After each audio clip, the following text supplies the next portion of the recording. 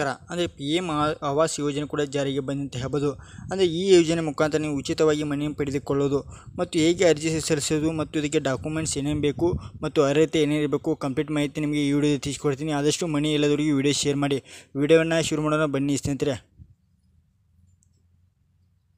ನೋಡಿ ಸ್ನೇಹಿತರೆ P M Awas ಯೋಜನೆ ಕೂಡ ಅರ್ಜಿ ಪ್ರಾರಂಭವಾಗಿದ್ದು, ಈ ಯೋಜನೆ ಮೂಲಕದ ಬಡ ಜನರು ಹಾಗೂ ಹಿಂದುಳಿದ ವರ್ಗಗಳಿಗೆ ಉಚಿತವಾಗಿ ಮನೆ ನಿರ್ಮಾಣ ಮಾಡುವುದು ಹಾಗೂ ಮನೆ ಕಟ್ಟಿಸಿಕೊಳ್ಳಲು ಕಡಿಮೆ ಬಡ್ಡಿ ದರದಲ್ಲಿ ಸಾಲದ ಸೌಲಭ್ಯವನ್ನು ಒದಗಿಸುವ ಈ ಯೋಜನೆ ಮುಖಾಂತರ ಗುರಿಯಾಗಿದ್ದು, ಈ ಯೋಜನೆ ಯಾವ ರೀತಿ ಅರ್ಜಿ ಸಲ್ಲಿಸಬೇಕು? ಕಂಪ್ಲೀಟ್ ಮಾಹಿತಿ ನಿಮಗೆ ಈ ವಿಡಿಯೋ ತಿಳಿಸ್ಕೊಡ್ತಾ ಇದ್ದೀನಿ. ಮೊದಲು ವಿಡಿಯೋಗೊಂದು ಲೈಕ್ ಮಾಡಿ.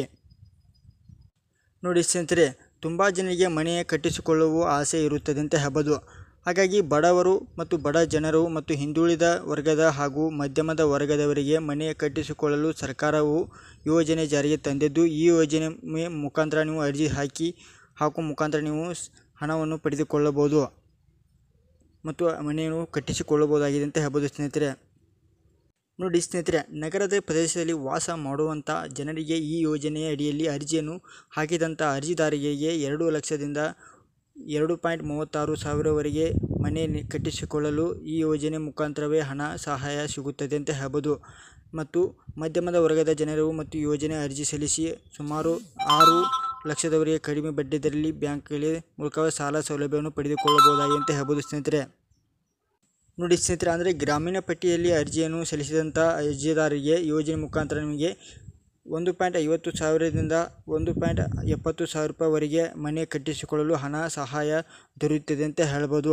ಮತ್ತು ಪ್ರಧಾನಮಂತ್ರಿ ಆವಾಸ್ ಯೋಜನೆ ಮುಖಾಂತರ ಅರ್ಜಿ ಸಲ್ಲಿಸಿ ಈ ಹಣವನ್ನು ಪಡೆದುಕೊಂಡು ನೀವು ಮನೆಯನ್ನು ಕಟ್ಟಿಸಿಕೊಳ್ಳಬಹುದಾಗಿದೆ ಅಂತ ಹೇಳ್ಬೋದು. ಅಂದರೆ ಫ್ರೆಂಡ್ಸ್ ಪಿ ಎಂ ಕಿಸಾನ್ ಯೋಜನೆ ಅರ್ಜಿ ಸಲ್ಲಿಸಿದಂಥ ಅಭ್ಯರ್ಥಿಗಳು ಅಂದರೆ ಹದಿನೆಂಟು ವಯಸ್ಸಿಗಿಂತ ಮೇಲ್ಪಟ್ಟವಾಗಿರಬೇಕಾಗುತ್ತೆ ಅಂತ ಹೇಳ್ಬೋದು. ಮತ್ತು ಕಡ್ಡಾಯವಾಗಿ ರಿ B P L ration card ಇರಬೇಕಾಗುತ್ತೆ ಅಂತ ಹೇಳ್ಬೋದು ಸ್ನೇಹಿತರೆ.